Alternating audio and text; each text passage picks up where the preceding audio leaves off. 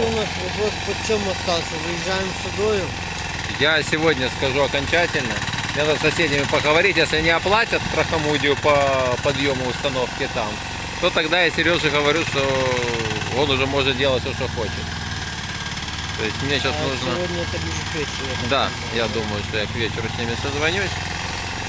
Це- То есть техническая возможность есть, вопрос, кто за это заплатит. А у нас тут ще довго? Но тут еще с недельку будем ковыряться, не меньше. Ну, вот здесь. Вот Да, да, именно вот в этом бассейне.